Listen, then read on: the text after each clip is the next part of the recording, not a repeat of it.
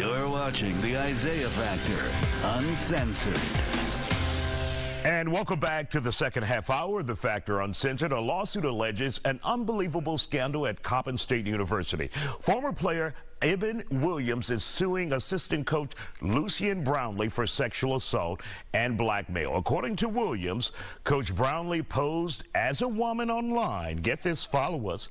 The coach posed as a woman online asking the player for nude pictures. The story takes another turn. Williams says Brownlee, the coach, used those messages as a form of blackmail, ordering Williams to have sex with his assistant coach. The lawsuit alleges Williams initially turned the request down, but he ended up going along with it. Current head coach Ju uh, Juan Dixon is also named as a defendant in the lawsuit. Williams alleges Dixon knew but did nothing to help. Let's talk about it. Dennis Spurling is here, attorney, and Barry Laminack, sports journalist and talk show host. B Barry, Barry, what the hell is going on here?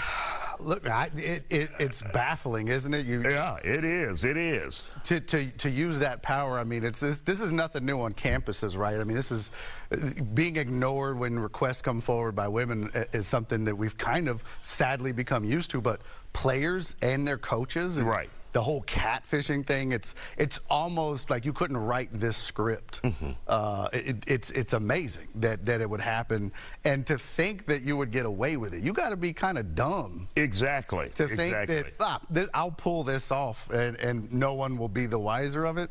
That's pretty dumb. Yeah. And you have to ask yourself, how do you push someone that far where they have sex with with if if you're heterosexual with uh, uh, another male.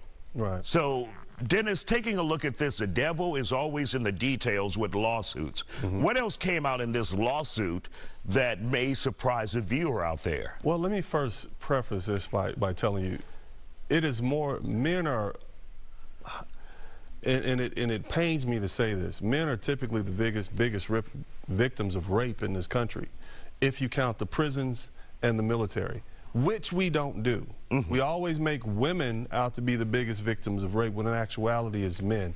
Now, when I look at this, I look at this young boy who's 18 years old, who's from New Jersey, who's down in Baltimore. He's around all these people. You know, you're on a basketball team, so it's already aggressive. You got all these people over you. And now you got this person who you you're away from home. You think this person wants a romantic relationship with you. Turns out you're being catfished. And so now this person has convinced you at 18 years old to send these pictures of yourself, these revealing photographs, and this person is now saying, I'm going to blackmail you if you don't send more. And just to see how far you can go, I'm going to blackmail you unless you have sex with me. Matter of fact, unless you have sex with your assistant coach, who I'm also going to blackmail. This is what this coach, this assistant coach allegedly did. You got a young, easily influenced, easily terrified young man who doesn't want to go back. Mm -hmm. He mm-hmm. doesn't want to go back to New Jersey. You, you've already made it. You're going back to the hood. You don't want to go back, so he's going to do anything he can to keep keep his scholarship and keep his money because he doesn't want to go home as a failure. I looked at the lawsuit. It's it's, in my opinion, as a as a tort lawyer. You got some sound claims. You got negligent intention of emotional distress, intentional intention of emotional distress, negligent hiring. Somebody should have been watching this guy. Matter of fact, the coach admitted in a meeting with the father that pertained with the father and the player that related to some other issues that were going on, i.e. drug use. Now, as a historically black university graduate, I'm ashamed of what happened at Copeland uh, State University. We have an influx of young black men who want, and athletes who want to go to these historically black universities. And now, is this how you're going to treat them?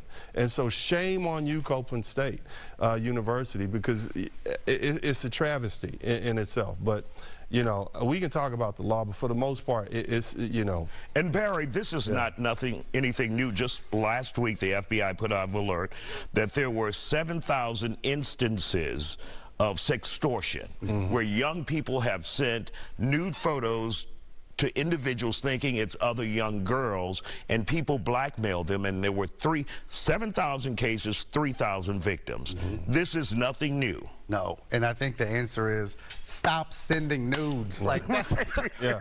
stop. This it makes no sense. No, I, Right. I can't think of a, a, a time when something. Last time I sent a nude, it was a Polaroid. Man, see, fax it. Like, No, so- no.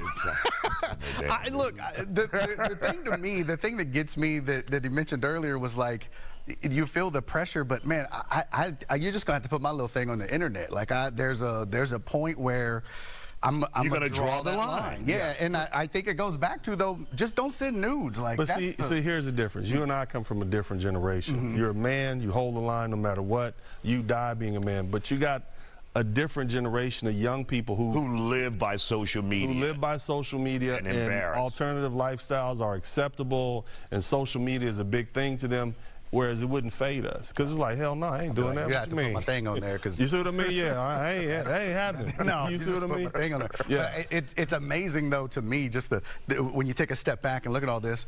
The, the coach admitted, the head coach Juan Dixon admitted, I guess in a meeting from what I read that we know he's crazy, Right. And then did nothing about it, Right. And then when the catfishing coach did actually send the nudes to the players and the coaches, there was a practice the next day, and Juan Dixon made that player made even go to practice. Right.